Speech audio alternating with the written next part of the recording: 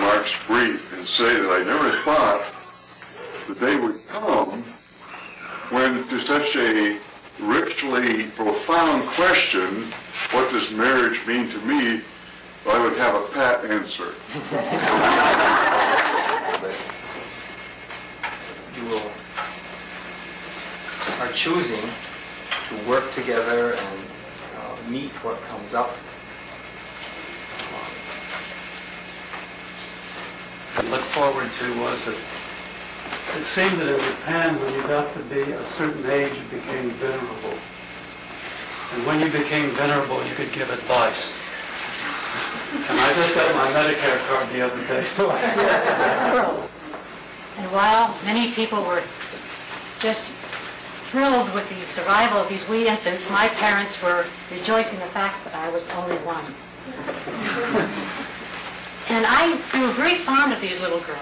very brief excerpt uh, from a book review, which um, I like to think is not only addressed to the two of you, but also to Sarah. And uh, the book is a book called Realize Your Dream.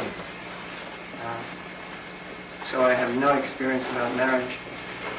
And I know lots of people who are married, and the relationships that they have vary enormously. healing can occur and self can recede and your love for each other becomes a touchstone for a loving way with a loving way of being in the world too. to play the clarinet at the wedding, and uh, I immediately thought that I would like to do something very dramatic. And I transcribed Beethoven's Ninth Symphony for solo clarinet. and I worked diligently on this and came uh, to town and Betsy said, I do not think they will sit still for an hour and 15 minutes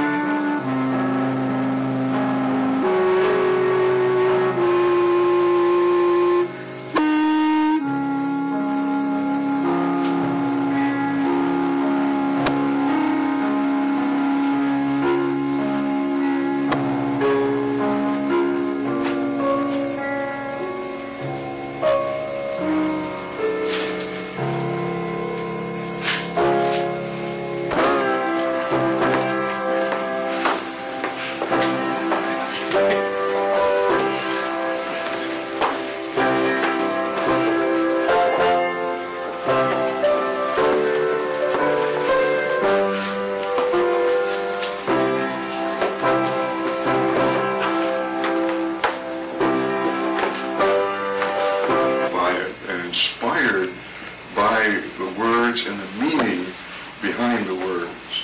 So I thank you for the experience of having this uncommon worship here today with this wonderful couple.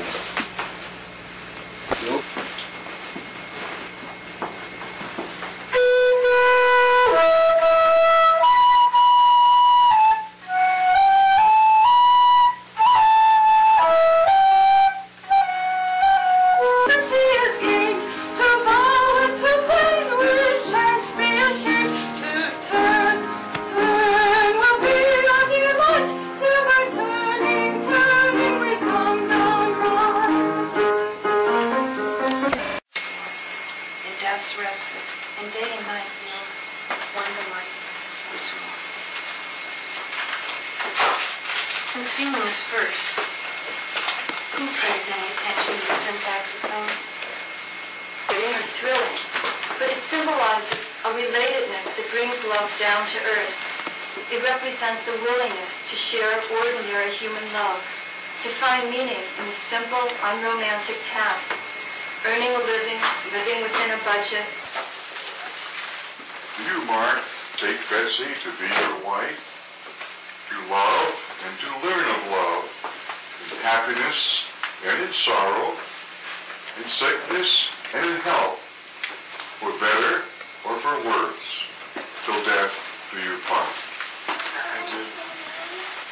To you, Betsy, take Mark to be your husband, to love and to learn of love, in happiness and in sorrow, in sickness and in health, for better or for worse, till death do you part. I do. You may embrace.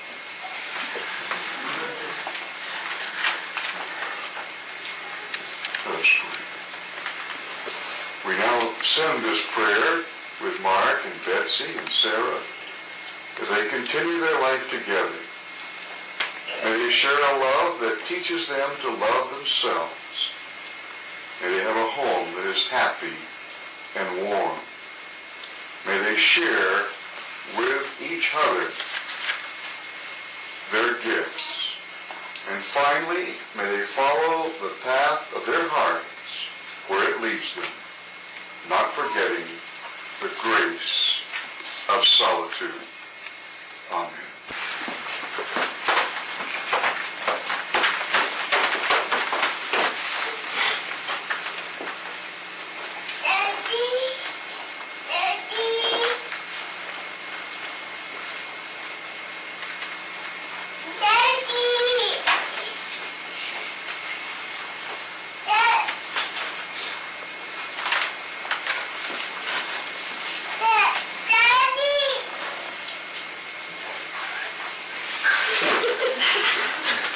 Yeah.